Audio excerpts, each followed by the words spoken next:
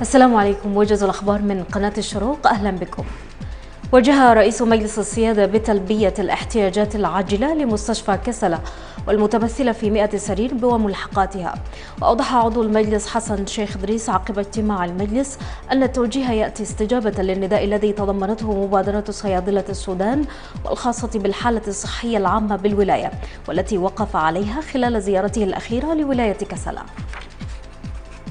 كشف وزير المالية والتخطيط الاقتصادي إبراهيم البدوي عن تعهد أصدقاء السودان بإعفاء الديون الخارجية. ووصف البدوي نتائج مشاركته في اجتماعات صندوق النقد والبنك الدوليين بالناجحة.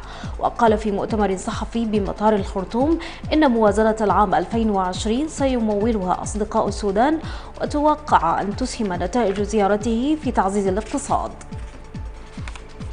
اطلع عضو مجلس السيادة حسن شيخ إدريس على جهود اللجنة العليا لشهداء التاسع والعشرين من يناير ببورت سودان للدفع بالملف في مساراته القانونية. ووعد شيخ إدريس خلال لقائه وفد اللجنة بتحريك الملف وإكمال الإجراءات القانونية المتصلة به وتحقيق العدالة في جميع ملفات المظالم. صدق البرلمان العربي بالإجماع على مشروع قرار برفع اسم السودان من قائمة الدول الراعية للإرهاب. وجاءت المصادقة في مستهل دورة الانعقاد الرابعة. وأكد رئيس البرلمان خالد مشعل أن القرار بني على حيثيات قانونية. وأشار إلى أن العقوبات أضرت بالشعب السوداني. أكد رئيس الوزراء متانة العلاقات السودانية الكويتية وأشار خلال لقائه سفير الكويت بالسودان إلى أهمية تذليل عقبات الاستثمارات الكويتية بالسودان. وقال السفير إنه نقل رسالة من رئيس وزراء الكويت تضمنت دعم الكويت الدائم لقضايا السودان.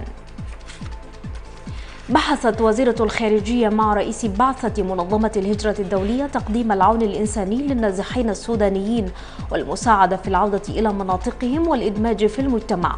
وقدمت رئيس البعثة شرحا عن المهام التي تؤديها المنظمة بالسودان في مجال دعم النازحين السودانيين واللاجئين مشيرة إلى أن المنظمة تسعى لفتح ثلاثة مكاتب أخرى.